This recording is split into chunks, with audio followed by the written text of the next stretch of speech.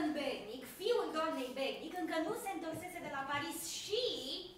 Încă nu se logodise. Compania Moller juca în oraș în iarna aceea. Iar Dorf, actorul și soția lui făceau parte din acea companie. Toți tinerii bărbați din oraș erau îndrăgostiți de ea. Da, Dumnezeu știe ce vedeau la ea. Hai, lasă-mă, mă rog. Dorf s-a întors târziu acasă într-o seară. Complet pe neașteptate. Și a găsit-o pe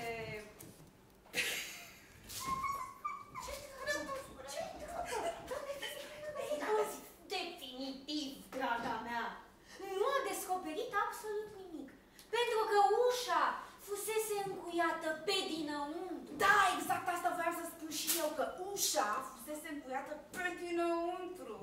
Dar imaginează că bărbatul care era înăuntru a trebuit să sară pe fereastră. Chiar de pe fereastra de la mansardă a trebuit să sară și era chiar fratele doamnei Bernic, cel care a trebuit să plece tocmai în America din cauza asta. Da, din cauza că s-a aflat ceva ce era aproape la fel de rău.